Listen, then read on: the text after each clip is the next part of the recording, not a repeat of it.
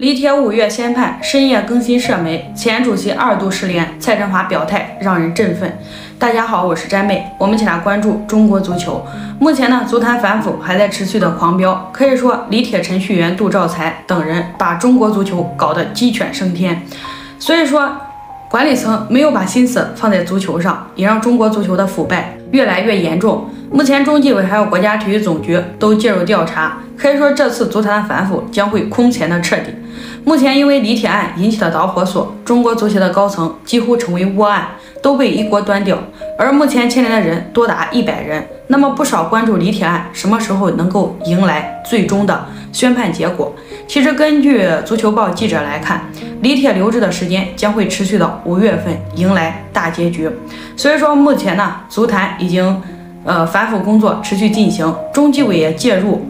国家体育总局免去了杜兆才的职务。我们目前来看，关于李铁的事件，可以说呼声最多的就是杜兆才的落网。因为呢，国家体育总局副局长还有党委书记，他的权力实在太大了。他的落网也让球迷拍手称快。但是他并不是背后的大鱼。根据知名记者冉雄飞的爆出的更多猛料，他表示啊，李铁是立功了，但是呢。现在中超的多位前老板，包括现任老板，都处于失联状态，所以说这也是由李铁案引起的蝴蝶效应，他们也都被牵连其中。比如说上海中超俱乐部吴某某也被卷入调查中，所以说现在足协的反腐啊，九位高层还有联赛成为了重灾区，也被称为重点调查的对象。除此之外，前任足管中心主任韦迪在北京已经第二次失去联系，还有中国福特宝公司总经理刘卫东等等人也处于失联状态。足坛的反腐没有停下脚步，未来也会成为常规化的调查。而于洪臣、董征、杜兆才的落马，韦迪也难独善其身。如今他的失联更加引起外界的怀疑。要知道，杜兆才、于洪臣还和韦迪关系颇深。